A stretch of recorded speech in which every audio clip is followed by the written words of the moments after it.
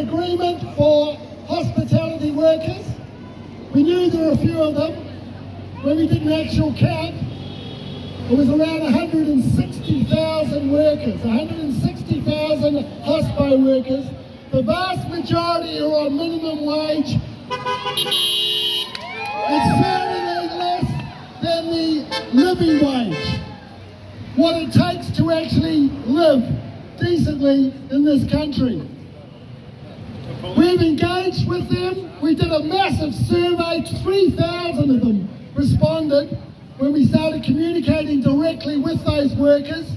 The vast majority have never had a chance to collectively organise before, because that's the problem.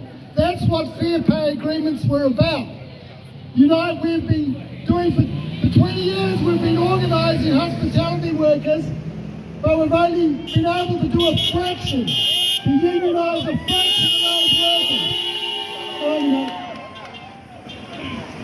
And that's because they're spread out in lots of little cafes, bars, pubs, and also because in the 90s, the unions that organised hospitality workers were smashed.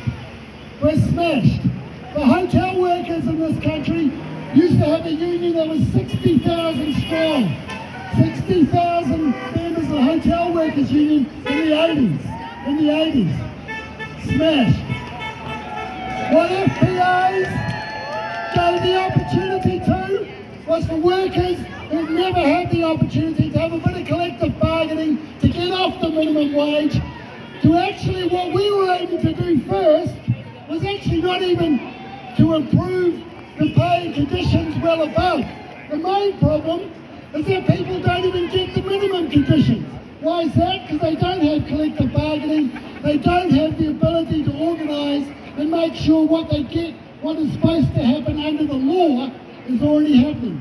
Basic stuff like breaks, like getting your breaks at work.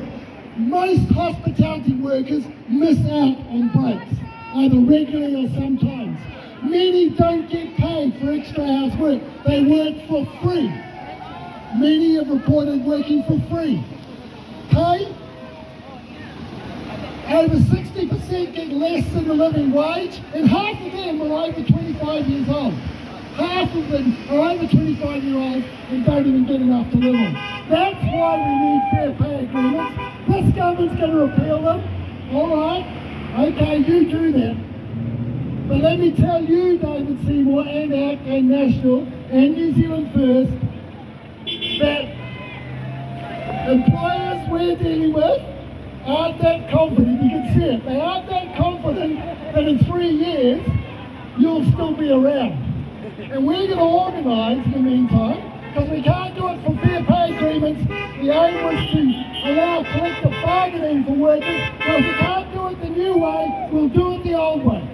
And we are going to organise those workers, some of them at least, and we're going to get them collective agreements one way or another. And this government will be doing this in three years, we'll be doing this in six years, we'll be doing this in a hundred years, David Seymour. You, this government will be gone long before then. So see you in a while, buddy.